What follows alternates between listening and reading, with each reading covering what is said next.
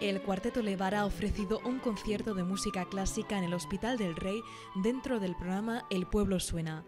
Los músicos tocaron ante un numeroso público piezas de los compositores Joseph Alois Schmidbauer, Miquel Blavet, Giordani y Gittler.